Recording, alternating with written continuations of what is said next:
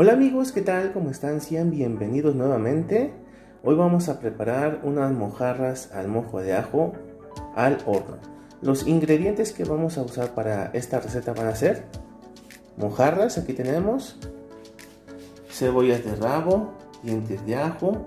Para también acompañarles vamos a hacer una, un guacamole sencillo. Se necesitará un aguacate. También haremos una ensalada sencilla. Y vamos a usar una pequeña capa de naranja, y tomate, lechuga, papas a la francesa, agua, sal, aceite vegetal y un poco de pimienta. Bueno, lo que vamos a hacer primero va a ser nuestra pequeña marinación para tener listas nuestras mojarras y ya una vez que estén listas las vamos a meter a hornear. Vamos a empezar a hacer nuestra pequeña marinación. Lo que vamos a hacer aquí es tomar esta cebolla que está un poquito grande. La vamos a cortar y le vamos a ir quitando todo lo que esté ligeramente reseco que eso es lo que no vamos a necesitar se le van a quitar bien lo que es la parte de la raíz eso no lo vamos a necesitar ya tenemos aquí los dientes de ajo la cebolla. Vamos a colocarlos en nuestro vaso de la licuadora que tenemos aquí.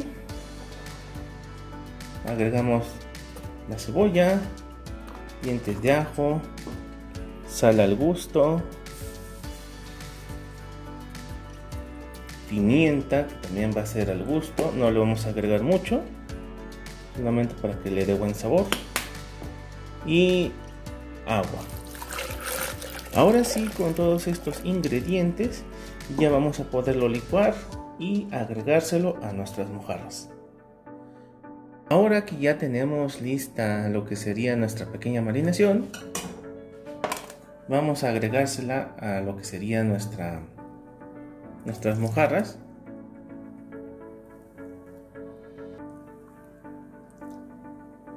Y vamos a hacer que se cubra todo, todo esto.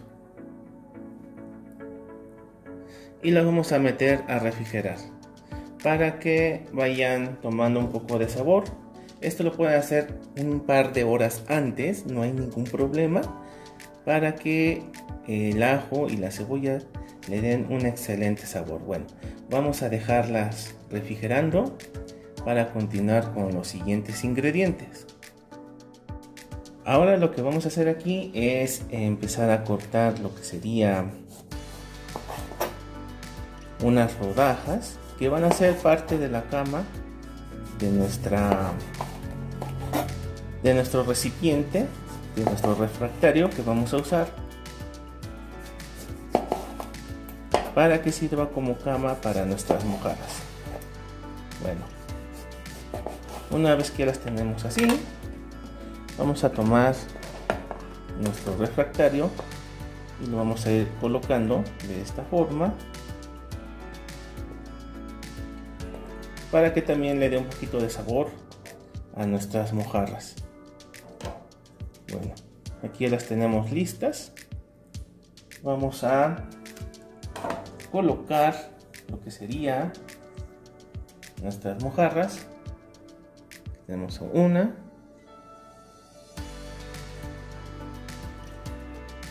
Y aquí tenemos otra. Ya que las tenemos aquí, lo que vamos a hacer ya es meterlas a hornear para que se vayan cocinando. Ahora aquí ya tenemos lo que son nuestras mojarras, las vamos a meter a su horno y las vamos a meter a 180 grados para que se vayan cocinando. Mientras nosotros las dejamos cocinando vamos a continuar con los otros ingredientes. Ahora mientras se cocinan lo que serían nuestras mojarras, nosotros vamos a hacer nuestro guacamole con esta pequeña cebolla que tenemos aquí. Vamos a agarrar solamente un poco para que le dé muy buen sabor a lo que sería nuestro guacamole. Es también importante que le cortemos muy bien lo que es la parte del tallo y también de la raíz. Ya que lo tenemos así, vamos a cortarlo lo más fino posible para que se mezcle muy bien con nuestro guacamole y no perdure trozos grandes a la hora que lo estemos comiendo. También vamos a cortar lo que es esta parte, que es el cebollín de nuestra cebolla. Y ya podemos picarlo lo más fino posible. Para lo que yo les digo, hay personas que les gusta que esté un poquito más presente la cebolla, los trocitos de cebolla. Ustedes van a decidir si lo quieren muy fino o lo quieren ligeramente troceado que también le va a dar muy buen sabor eso ya va a ser elección de cada quien una vez que ya esté completamente picado al gusto de lo que queremos hacer lo vamos a ir colocando en un recipiente como tenemos aquí Una vez que ya lo tenemos acá, vamos ahora a continuar con lo que sería nuestro guacamole, o en este caso el aguacate para hacer el guacamole. Y con una cuchara que tenemos aquí, vamos a apoyarnos en quitarle lo que sería la pulpa, que va a ser muy fácil. Si está muy madura la fruta, va a cortar fácilmente lo que sería la piel o la cáscara en este caso. Y como pueden ver aquí también quedó un trocito. Lo que vamos a hacer ahora es quitarle la semilla y vamos a hacer lo mismo con nuestra cuchara vamos a quitar todo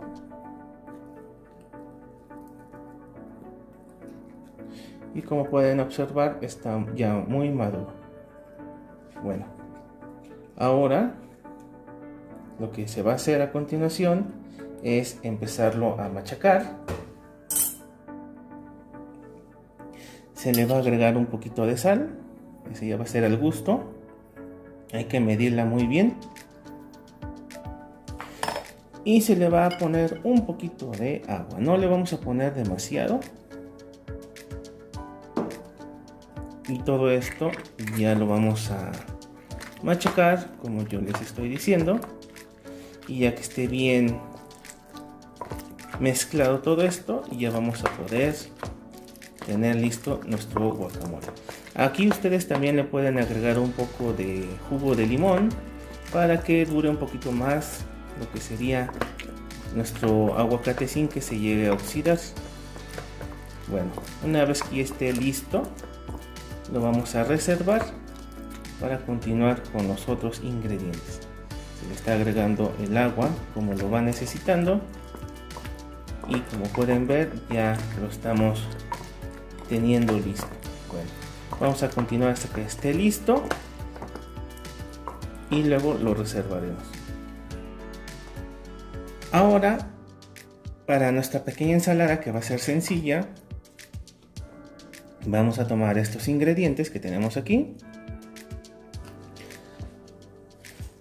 Vamos a tomar lo que son nuestras hojas de la lechuga y lo único que no vamos a querer es esta parte que sería esto, el tallo y lo único que queremos es la pura hoja una vez que ya está así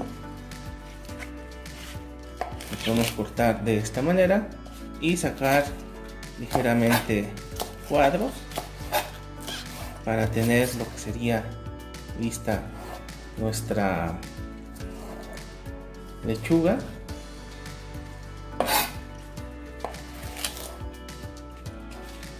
Vamos a hacer lo mismo y es un corte prácticamente sencillo. En las partes que estén más grande la hoja volvemos a cortar para sacarla del mismo tamaño. Aquí ya lo tenemos. Es muy sencillo el corte que se le está haciendo. De igual manera también para nuestro jitomate que tenemos aquí va a ser un corte muy sencillo. Se va a cortar a la mitad se le quita esta parte. Y ya una vez que lo tengamos así podemos cortar de esta forma y nuevamente de esta forma. Ahora que lo tenemos así se corta una vez más para tenerlo con un corte parecido a lo que estamos haciendo con nuestra lechuga. Pero si ustedes quieren hacer otro corte lo pueden hacer. No hay ningún problema en ello. Bueno miren aquí ya está quedando. Y vamos a hacer lo mismo con el resto del jitomate para nuestra naranja lo que vamos a hacer en esta ocasión también ustedes van a decidir el corte. Vamos a colocar un, corte diferente pero vamos a ir cortando de esta forma.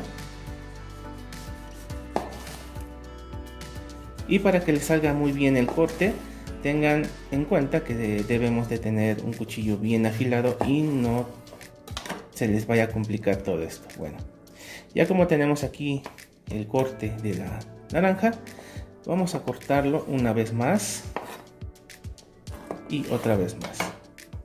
Para tener estas pequeñas rebanadas que tenemos aquí y ya las podemos mezclar muy bien con lo que sería nuestra ensalada que va a ser muy sencilla. Bueno vamos a hacer todo esto con lo que falta para tener todo listo. Y lo último que sería sería freír nuestros, nuestras papas.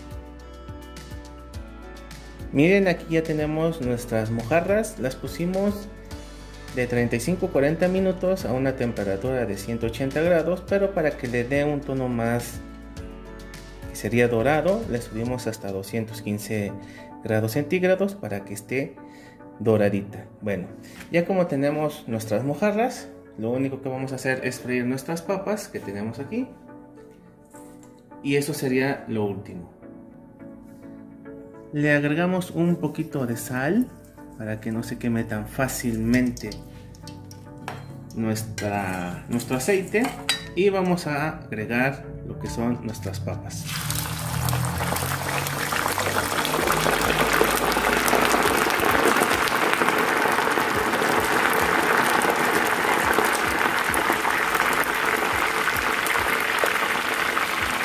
Ya una vez que estén bien fritas, lo que vamos ya a hacer ya es presentar nuestro platillo para ya poder degustar. También vamos a necesitar un recipiente para colocar lo que serían nuestras papas ya fritas y también le vamos a poner una toalla de papel absorbente para quitarle el exceso de aceite. Bueno, ya que estén listas, las vamos a poner en su recipiente y ya poder degustar lo que sería nuestro platillo. Miren, aquí ya tenemos lo que son ya nuestras papas. Ya están completamente cocinadas. Lo que vamos a ir es ya retirarlas de aquí, el aceite, y las vamos a colocar en un recipiente donde absorba el exceso de aceite. Vamos a hacerlo nuevamente y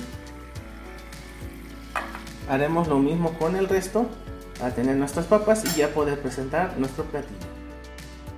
Y miren amigos, aquí ya tenemos listo lo que es nuestra mojarra, ya está completamente cocinada, como les digo, ya está crujiente y si pueden ver su piel está ligeramente crujiente y su carne ya está muy bien cocinada. Le agregamos su guacamole que tenemos aquí con unos totopos, las papas a la francesa y su pequeña ensalada lista para poder degustar. Bueno amigos, esto ha sido todo por hoy. Espero que les haya gustado la receta. Recuerden suscribirse, activen la campana para que les llegue la notificación de los nuevos videos, las nuevas recetas. Compartan el video con una persona, eso nos ayuda mucho a seguir subiendo más recetas. Y recuerden que la lista de los ingredientes está en la descripción del video.